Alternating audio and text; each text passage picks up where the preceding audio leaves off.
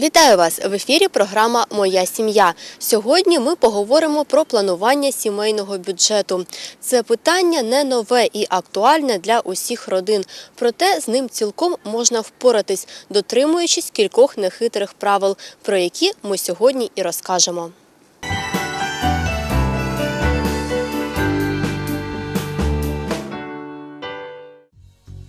Перш ніж приступати до планування сімейного бюджету, необхідно чітко розуміти, що бережливе ставлення до своїх фінансових засобів не має нічого спільного зі скупістю і відмовою від усіх задоволень у житті. Дуже часто можна спостерігати ситуацію, коли в сім'ї усі зосереджені на досягненні якоїсь мети купити новий автомобіль, будинок, поїхати на відпочинок, і при цьому усі члени родини утиснені і в усьому собі відмовляють. Як підсумок, досягнута мета вже не принесе очікуваного задоволення. Ми опитали черкащан, або аби дізнатись, як вони планують свій сімейний бюджет та хто за нього відповідає.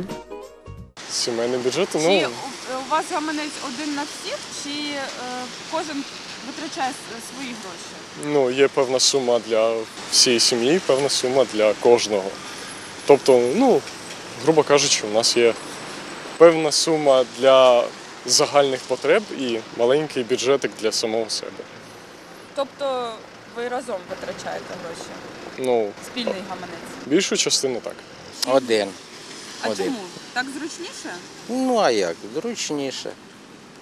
А що, у кожного свій повинен бути? Ні, в нас один. Один у жінки. Вона управляє. А А, чому? а, я, а я туди ложу. Ну, то, що я не дуже ним вмію управляти. Я тільки ложити вмію, і... а вона хай управляє. Так зручніше для вас. Так, так. Так мені спокійніше. Ні, в нас один. А чому? Так зручніше? Я вже не пам'ятаю, це так склалось колись давно. І так ми і живемо багато років вже. Зручніше, певно. Можливо, той, в кого його немає, в нього менше відповідальності, йому так зручно. У мене в сім'ї там головний бухгалтер, дружина. Вона розпоряджається в основному коштами. Якщо великі якісь покупки, а так, то в принципі вона займається сімейним бюджетом. Тобто ви разом всі вирішуєте, на що витрачати? Так. Ну, взагалі в нас спільний гаманець, але кожен має свої кишенькові гроші, які він може витрачати на свої якісь потреби. Там, наприклад, я люблю купувати якісь дивні речі, я займаюся хендмейдом, тому на це в мене є окремі гроші. Але те, що стосується нашого бюджету в плані заплатити за комунальні послуги. Е, Придбати щось е, по дому, якусь можливо побутову хімію, то це все в нас є сімейний бюджет, який ми виділяємо. Ми обраховуємо суму, яку нам потрібно на місяць е, з нашого спільного бюджету складаємо цю суму, а потім залишені гроші кожен залишає собі, можливо, на подарунок своїй другій половинці. Перш за все потрібно правильно підійти до питання планування сімейного бюджету. Бажано скласти певний план, якого дотримуватись, просуваючись від одного пункту до іншого. Найперше, з чого потрібно розпочати, це суворий контроль доходів та витрат. Цей цілком банальний пункт плану насправді здатний творити чудеса і допомагати в управлінні вашими фінансами. Фахівці рекомендують для початку скласти план хоча б на місяць, і потім вже займатися плануванням сімейного бюджету найбільш тривалий час. Почати слід зі складання списку всіх джерел доходів, які поповнюють сімейний бюджет. Далі вписуємо всі статті витрат, причому бажано згрупувати їх: комунальні платежі, витрати на продукти харчування, щоденні обов'язкові витрати, непередбачені витрати, задоволення і розваги, кредити та інше. Після того, як прийшли перші надходження, необхідно розписати їх за джерелами доходів і відразу приступити до заповнення пунктів про витрати. Можна купувати конверти і розкладати по них гроші. Намагайтеся суворо дотримуватися написаного плану і не перевищувати встановлених для себе лімітів. Друге правило планування сімейного бюджету необхідно змінити ставлення до своїх грошей. Саме таких правил у плануванні сімейного бюджету дотримуються герої нашої сьогоднішньої програми Марина та Влад, які разом вже три роки. І з самого початку подружнього життя вони почали планувати свої витрати, розподіляючи їх на певні статті, як і рекомендують фахівці. Приводу того, скільки ми живемо разом, ми живемо разом вже три роки. Де ми познайомилися, ми разом навчалися в школі з першого класу. Далі е, закінчили університет, одружились і зараз живемо разом. А з приводу бюджету, нехай розповість Влад. Ну, з приводу бюджету у нас якось так склалося, ми ніколи не замислювалися над цим, воно само по собі пішло. От, е, у нас бюджет е, складається в кожного він свій, але є і також частина бюджету, який ми вкладаємо на сім'ю. Тобто ми відкладаємо певну частину на комунальні пл- плати, на харчі і ну, подібні речі там. А взагалом е, в кожного є також свої е, особисті гроші, які ми витрачаємо на власні потреби. От, ну, в частині там, на моє хобі, наприклад, я люблю рибалку, наприклад. От, ну, а моя кохана займається різними видами пап'є-маше, орігамі. Так, е, також мені подобається займатися хендмейтом, робити дивні речі з бісера. Можливо, часом я малюю. В залежності, чи є натхнення, чи немає.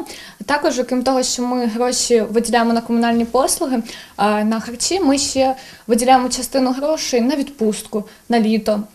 Можливо, на зиму, якщо мали гарні доходи за ці півроку. Також в подальших планах ми хочемо ввести ще одну графу. Ми хочемо відкладати гроші на автомобіль. Спробувати, хоча б, якщо не вийде, можливо, батьки допоможуть. Ну там побачимо.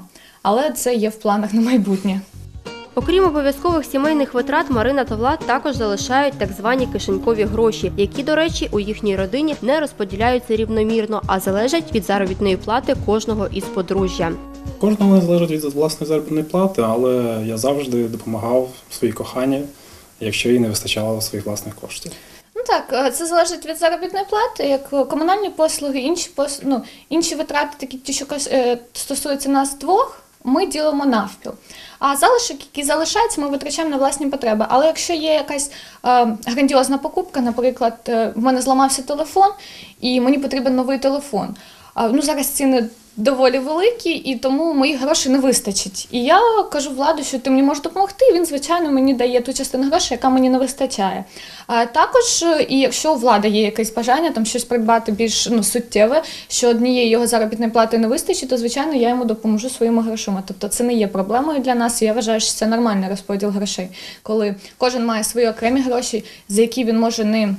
Скажімо так, не звітувати. Тобто, як от е, пішов до магазину, наприклад, придбав їжу і кажеш, я там витратив 100 гривень. Ми записали, що ну сьогодні на їжу ми витратили 100 гривень, а потім ми в кінці місяця підбиваємо підсумок, скільки грошей ми витратили в цьому місяці на їжу, на комунальні послуги, адже зимою вони збільшуються, тобто це треба ще теж врахувати ці витрати на опалення.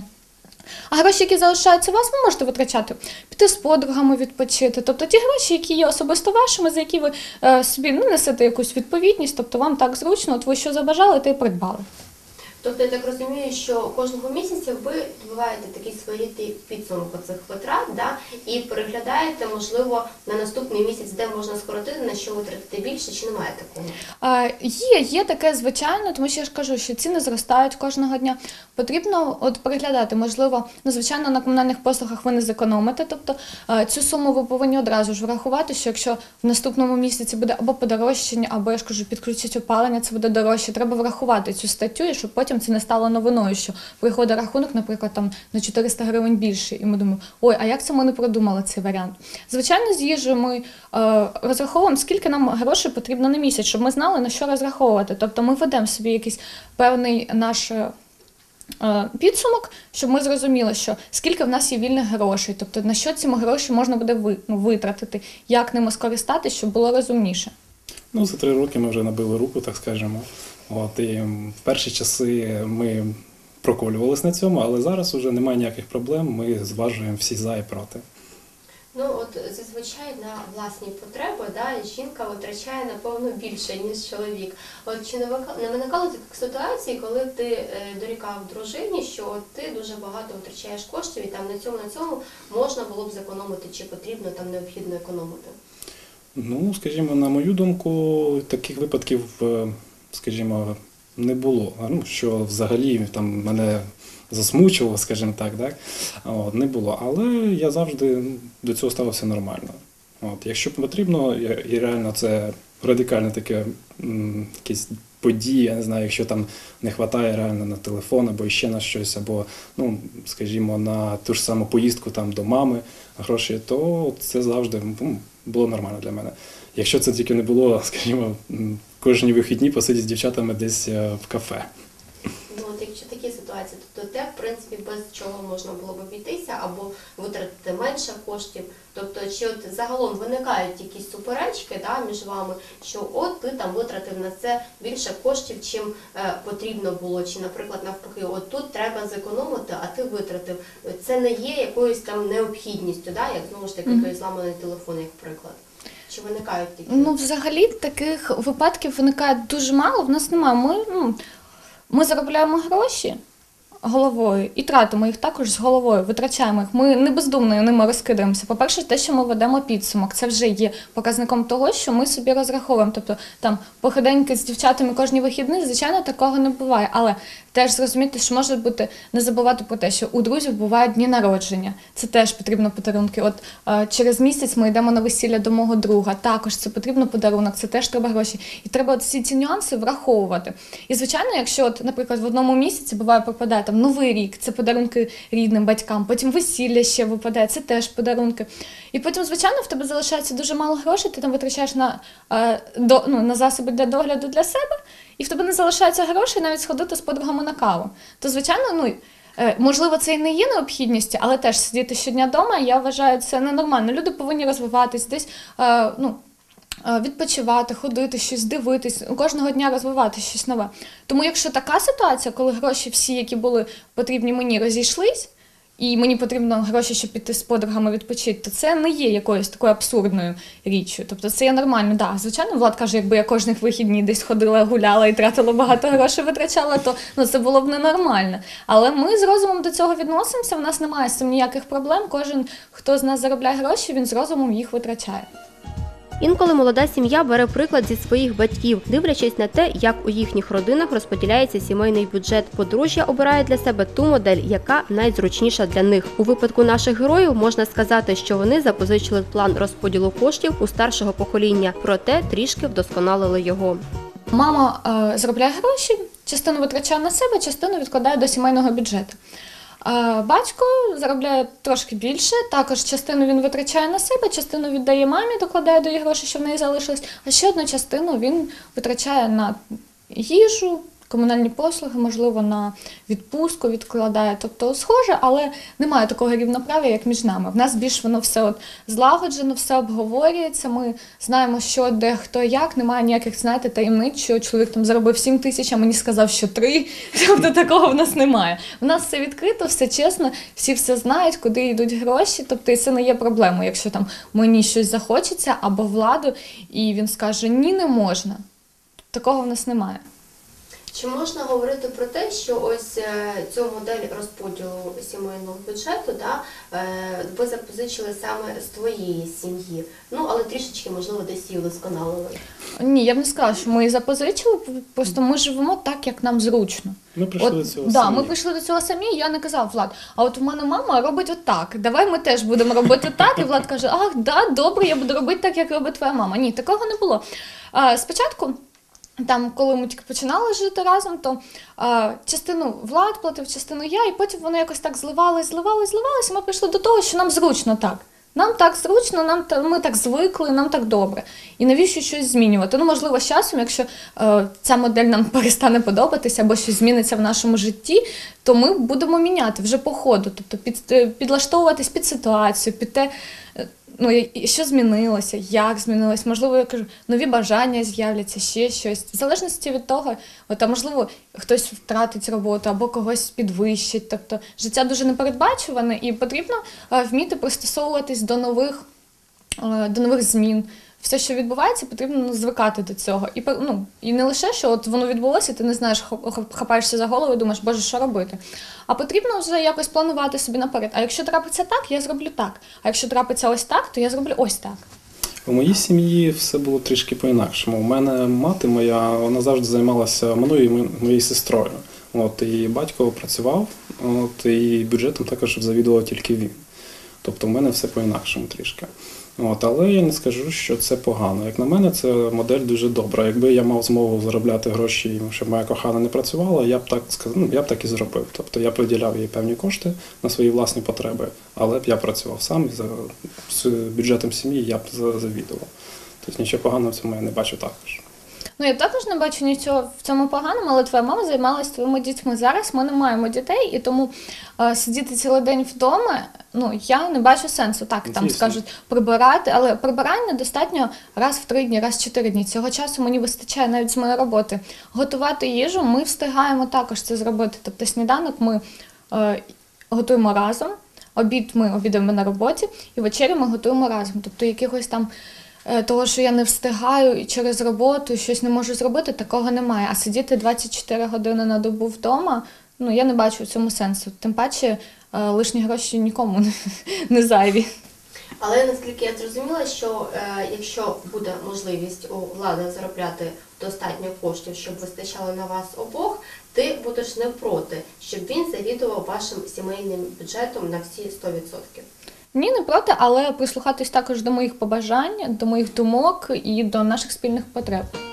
Прагнення до здійснення своїх мрій це нормальна і навіть необхідна якість будь-якої людини. Різниця в тому, яким шляхом йти до поставленої мети. У випадку з сімейним бюджетом планувати цілі можна на тиждень, місяць, два місяці, півроку і більші терміни. Для цього чудово підходять ті ж самі конверти або ж відкриття рахунку, гроші на якому будуть призначені для майбутнього навчання дитини або поїздки на відпочинок. Якщо раптом в кінці місяця у вас залишаються вільні гроші, не потрібно бігти в магазин і відразу їх витрачати. Розкладіть по конвертах за цільовим призначенням, і це стане вашим приємним бонусом і показником того, що ваша економія вже дає позитивні результати.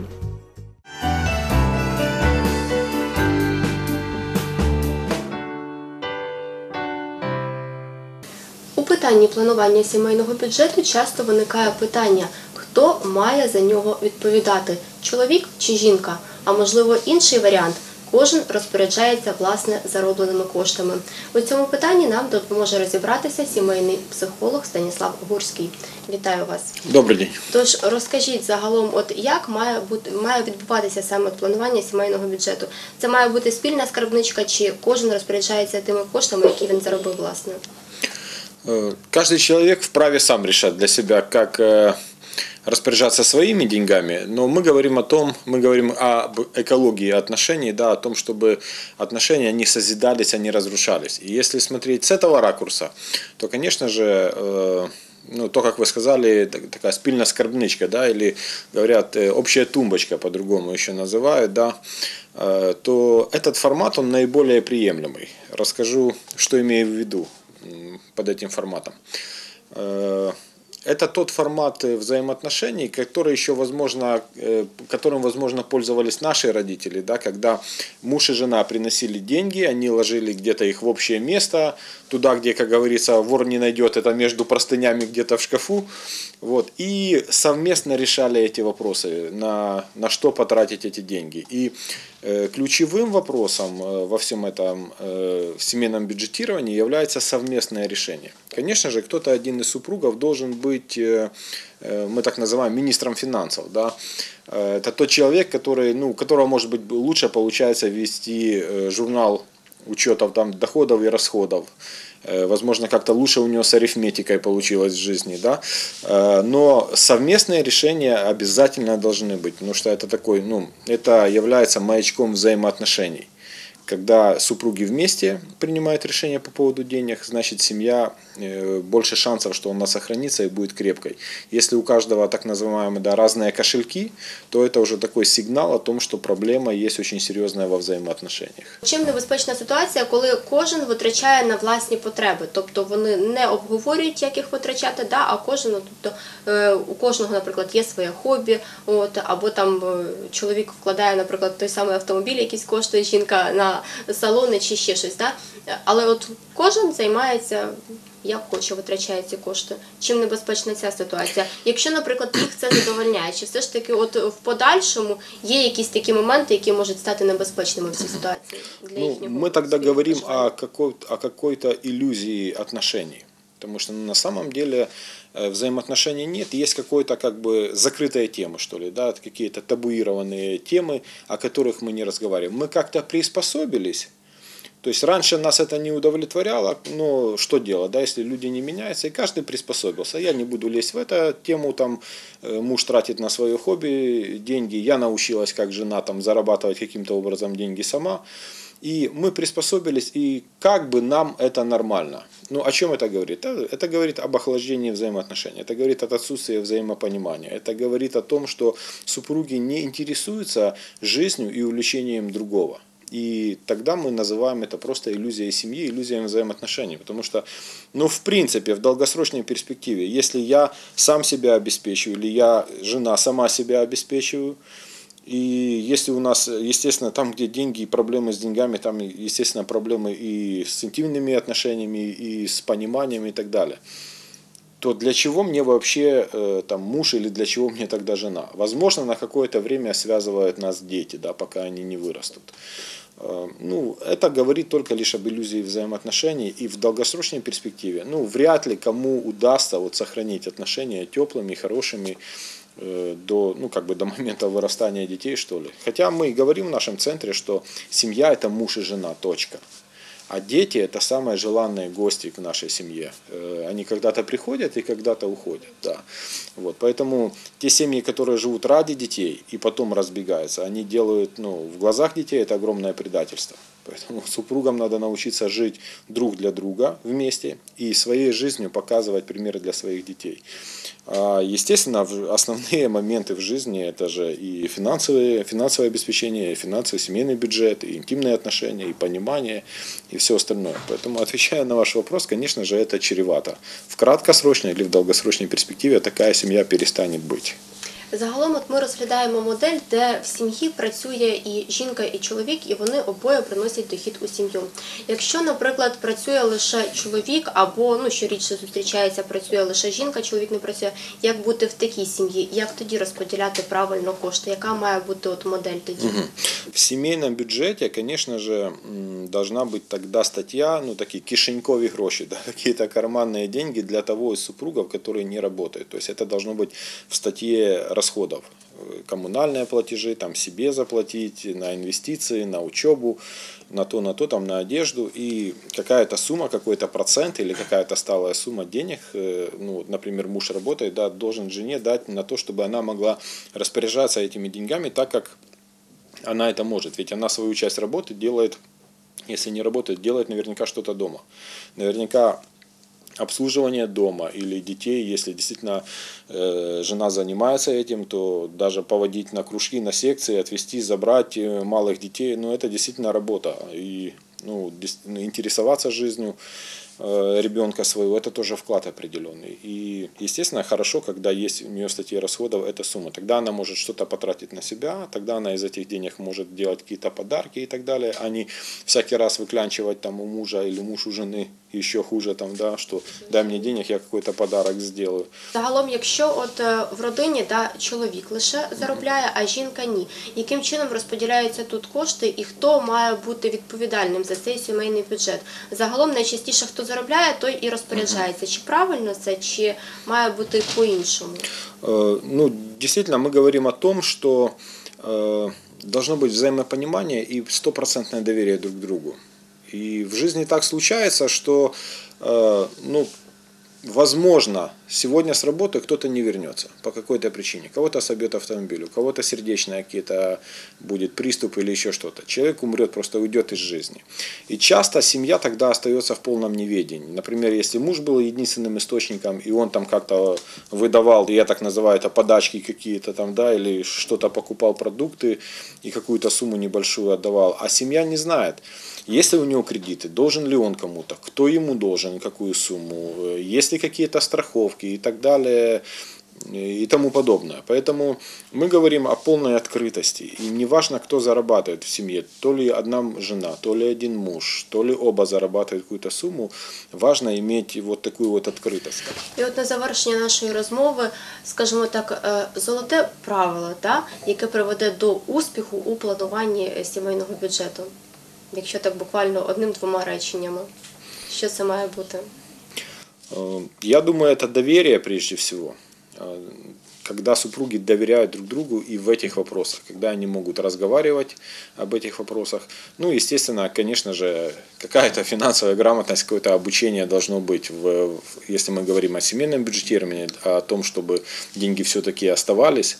Естественно, нужно обучаться и в, вот в таком в обучении, в доверии друг к другу развиваться и строить взаимоотношения. Я дякую вам за цікаву розмову. Я гадаю, що глядачі обов'язково знайдуть кілька цікавих і корисних порад для себе і будуть планувати свій сімейний бюджет так, як їм зручно, а головне, щоб це було вигідно обом. А наша програма триває. Дивимось далі.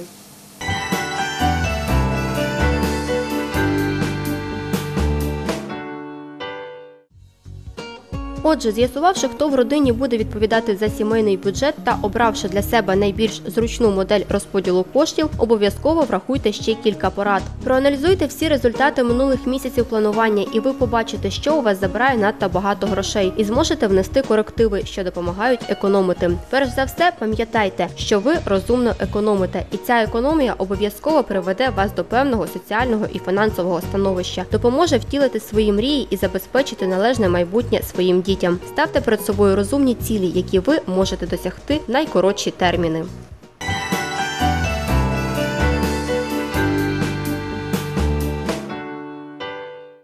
Секрет достатнього сімейного бюджету не в тому, що ви багато заробляєте, а в тому, що ви вмієте раціонально розподіляти свої доходи, вмієте контролювати себе та не піддаєтесь миттєвим бажанням та поривам вдалого вам планування сімейного бюджету.